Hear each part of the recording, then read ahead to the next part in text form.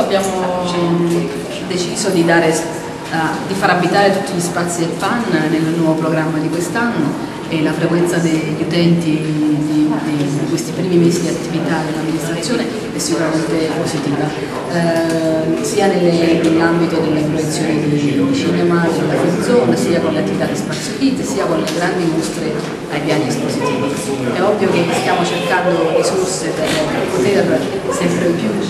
collaudare all'interno degli spazi espositivi anche mostre di valore internazionale e portarle a Napoli ed in questo senso che l'amministrazione sta muovendo anche per cercare di partenariati con fondazioni private, con eh, attività esterne che possano coadiuvare il lavoro dell'amministrazione. Eh, abbiamo parlato poc'anzi nella commissione, con, eh, seguendo un po' quello che è l'indirizzo già dettato dall'amministrazione centrale, dall'assessore Vino Cera. Io credo che una delle cose più importanti sia quella, oltre al recupero di fondi, da valutare e vagliare tutte le, le potenzialità di acquisizione sia dalla, dalla regione, dal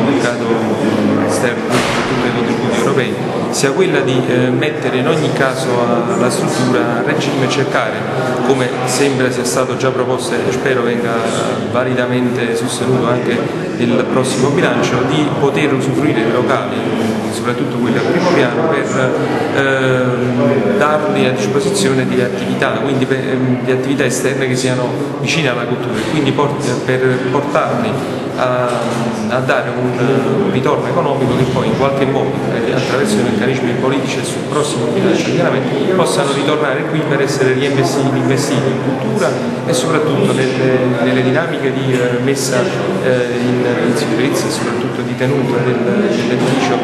e relativamente ai costi che sono già abbastanza alti perché un milione di euro per la tenuta annuale di questa struttura tra tutti i costi che ci sono che gravano sopra sono, sono dei costi enormi che, sui quali bisogna cercare comunque di incidere positivamente per renderla quanto più fruibile,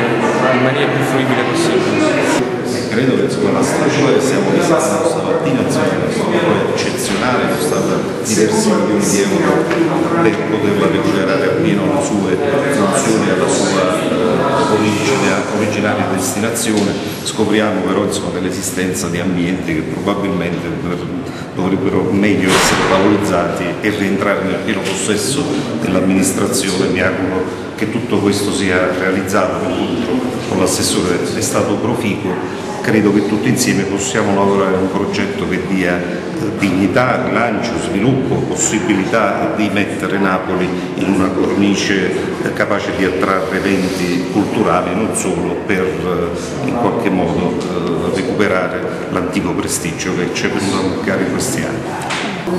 Oggi abbiamo fatto qui una commissione itinerante proprio per verificare lo stato dei lavori che già ho detto prima e insieme all'assessore di Nocera poi trovare la formula giusta per rilanciare questa struttura. Mm, ci vogliono progetti, ci vogliono, dobbiamo verificare anche il bilancio eh, che dovremo fare la commissione credo a fine mese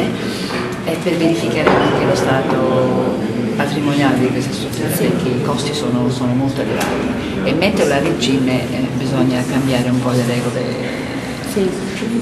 Quindi riguardo ai tempi, insomma... In questo momento non le posso dire niente perché appunto questa è la prima volta che ci riuniamo al Club faremo una commissione alla Via Verdi e dove appunto porteremo dei progetti e dovremo ancora discutere e solamente siamo ancora in fase embrionale in questo momento.